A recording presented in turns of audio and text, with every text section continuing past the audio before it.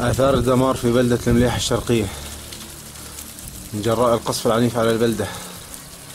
يوم الأربعاء 15 5 2013 ميلادي.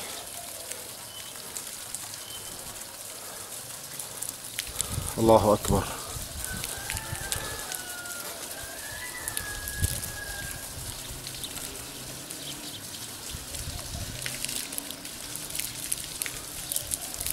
الله أكبر.